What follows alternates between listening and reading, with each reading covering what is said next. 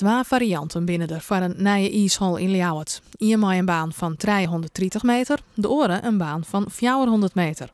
De gemeente Ljouwert viel het meeste voor de laatste optie. Grote vraag is alleen nog wat de komst van een 400 meter baan budget voor het reetrieden in Tialf.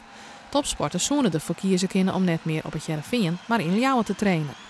Maar dit onderzoek toch nog blikken dat ze haar bij Tialf geen zorgen hoeven te maken. En we zijn tot de conclusie gekomen dat het tegenovergestelde het geval is. Het kan elkaar juist versterken. Ljouwert moet hem vooral dwaande houden met recreatieve rieden. In dat geval is er zowel voor Tialf als de ijshal Ljouwert volop toekomst. Friesland eh, moet zowel van de provincie als van de gemeente Heerenveen, maar ook van de gemeente Leeuwarden, schaatsprovincie nummer 1 weer worden.